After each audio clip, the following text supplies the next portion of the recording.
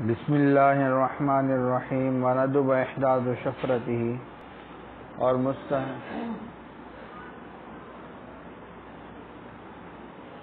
और मुस्तहब है अपनी छुरी को तेज करना।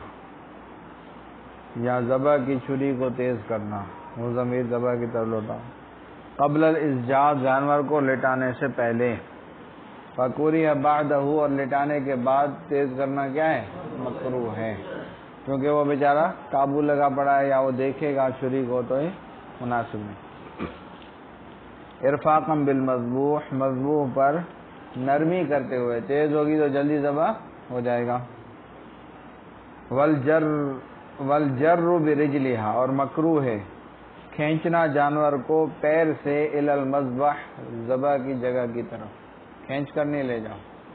पैरों से यानी लेटा हुआ और खींच के ले जाए ऐसे सही उठा कर या चला कर। उठा कर या। कौल वल जर बिर रफा। मुसनफ का कौल वल जर जो है वो रफे के साथ इसका अतफ है पूरी हक की जमीर पर। क्या? अब जमीर पर अतफ जो है वो क्या है?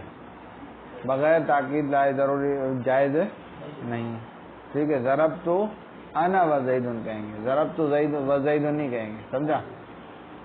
तो इसका जवाब यह है कि ये जायज़ है। बीच में फासला है। बीच में फासला है तो बगैर ताकीद के भी जायज़ है। समझा? अतफन आला जमीर फीकुरी है। वह जायज़ वजूद फ़सल और ये जायज़ है फ़सल की पाए जाने की वजह से। वजबहा मिन कफ़ा और उसको ज़बा करना गुद्दी से। क्या? यहाँ से ज़बर करे और जब ये रगे कटे तो उस वक़्त अगर जानवर जाए, ज़िंदा है और उस वक़्त तक पैर मार रहा है तो ज़बर तो हो जाएगा, लेकिन मकरू है लेकिन क्या है? क्योंकि तो तकलीफ़ हो गई ना यहाँ समझा? बुद्धि से यहाँ से ज़बर करें और जिस वक़्त ये क्या है, रगे कटे उस वक़्त तक उसमें सांस बाकी हो तो ज़बा तो हो जाएगा। जानवर हलाल होगा, लेकिन मकरू समझा? वन नखा, यानी अजब शदीद हत्ता यब लगन नुखा, और नखा भी जायज़ नहीं यानी शदीद जबा करना, यानी यहाँ से जबा कर करके और पीछे वाली हड्डी तक ले जाए। वो कहते हैं भाई, मणका छुड़ाओ मणका छुड़ाओ। ये मन मणका छुड़ाना सही नहीं है, मकरू है। समझा?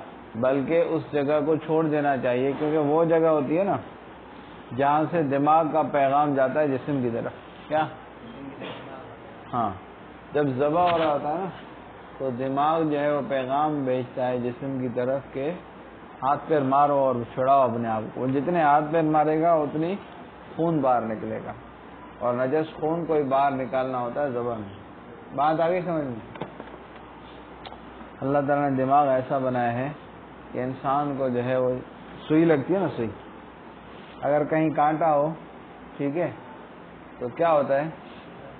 जो है दर्द होता है और तक जल्दी से आदमी पैर ऊपर कर लेता है। तो ये जैसे कांटा चुभता है ना यहाँ पे तो यहाँ पे होते हैं आ, कहते हैं तनते कहते हैं उसको तनते ठीक है?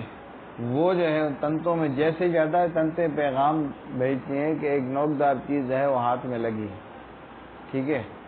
और फिर दिमाग पैगाम भेजता है कि अब दबा दर्द होना चाहिए। फिर दिमाग की वजह से दर्द होता है। ठीक है?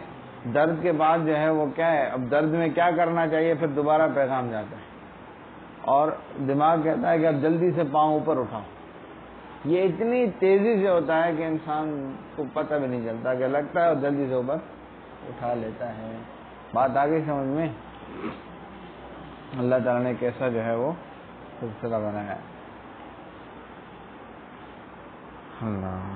आप जितना तेज भागते हैं भागते हैं ठीक है। अगर कुत्ता पीछे लगे तो उससे डबल तेज भागे। वैसे भागना चाहे रेस में तो नहीं भाग सकेंगे। लेकिन कुत्ता पीछे लगे, दो तीन, पाँच पाँच कुत्ते पीछे लगे तो फिर देखो चप्पल भी पता नहीं कहाँ रह जाएगी और बंदा जूम गया। है? तो ये भी दिमाग की तरफ़ से एक स्ट्रेस की वजह से उसमें एक कुत जिसम में वो डालता है दिमाग, जिससे वो और तेज हो। है? और वैसे उस दरख्त पे बंदा चढ़ नहीं सकेगा। और जब कुत्ते पीछे लगे, जल्दी जल्दी ऐसे चढ़ जाएगा, पता नहीं चलेगा, चढ़ा कैसे?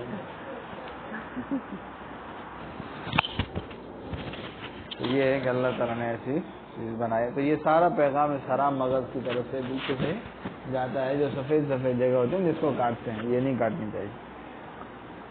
सारे कसाई काटते हैं, इसको मना करना चाहिए। तो क्या है? वन न अजब शदीद हत्ता यबलुगन नुखा। यानी शदीद जबा करना, यानी आगे तक चलते जाना, हत्ता कि वो नुखा तक पहुँच जाए और उसको फारसी में कहते हैं हराम मगज। क्या हराम है? वसलख कबल यबरुद। और खाल उतारना जानवर की मकरू है ठंडा होने से पहले। अयस्कुन अनिल इजतराब, यानी तड़पने से खामोश, तड़पने से, जो है ठहरने से पहले। समझा? व शर्त कौन इजाब कि सुकून में आ जाए तड़पने से। जो तड़प रहा है ना पैर मार रहा है, उससे सुकून में आ जाए, उससे पहले जो है वो खाल उतारना क्या है? मकरू है। व शर्त कौन इजाब मुस्लिमन अव किताबियन जिमियन अव हरबियन और शर्त यह है कि दबा करने वाला मुसलमान हो या किताबी हो या क्या हो? अहले किताब हो ख्वाजिमी हो या हरबी हो। क़ाल अल्लाह ताला अल्लाह ताला ने फरमाया वतआमुल्लज़ीन ऊतुल किताब हिल्लुल और खाना उन लोगों का जिनको किताब दी गई, हलाल है तुम्हारे लिए। वजालिक और ये वजह से है लियन्ना हम यज़कुरून अस्मल्लाह अलैहा, क्योंकि वो अल्लाह का नाम उस पर लेते हैं। लेकिन अभी वो लेते नहीं लेते, आजकल ऐसे ही जो है वो सर कलम करते हैं उसका। तो ज़्यादा आजकल वो हलाल नहीं है। और आजकल किताबी किताबें भी नहीं रहे। हाई बात समझ में? फहल जबीहा तो हुमा तो उन दोनों का जबीहा यानी मुसलमान और किताबी का क्या है? हलाल है। लव मजनून अगर चे क्या हो? मजनून हो, या औरत हो, या बच्चा हो, जो अकल रखता हो। बच्चा थोड़ी बहुत अकल हो वयस भी तो और उसको बिस्मिल्लाह याद हो, और उसको बिस्मिल्लाह याद हो। हत्ता लवकान मजनून, हत्ता कि अगर पागल होगा, या क्या है? या बच्चा होगा, इस ऐसे से कि उसको अकल नहीं है, और उसको बिस्मिल्लाह याद है? नहीं है। तो उनका जबिया हलाल है। नहीं है। अब अकलफ या क्या हो? गैर मखतून हो। और अखरस या गूँगा हो। ठीक है? अल्लाह। ला जबी है तो वसनी बुत परस्त का जबी है जायज़ नहीं है। वह मजूसिन और, मजूसी का व मुर्तद्दिन और मुर्तद का। व तारिक तस्मीत आमदन और आमदन बिस्मिल्लाह छोड़ने वाला। ये अकलफ से कल पढ़ेंगे इंशाल्लाह। इख्तलाफ भी है, टाइम भी हो गया। वसल